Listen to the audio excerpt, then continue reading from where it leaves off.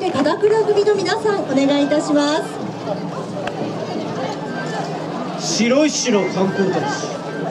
まずは山崎バニラはい。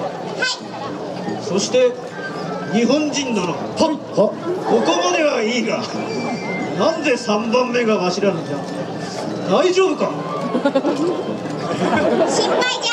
このリスクが2つある1つは我らが観光大使を務めることによって市にマイナスとならないかどうかだよな。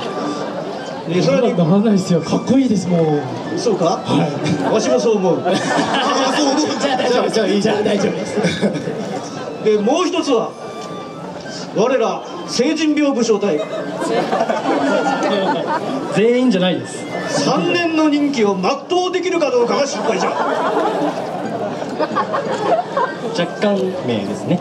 はい。とはいうものの我ら片倉組甚だ微力ではござりまするが与えられた3年間全力を尽くして白石市発展のために力を尽くしそして中には倒れていなくなる者がおるかもしれません。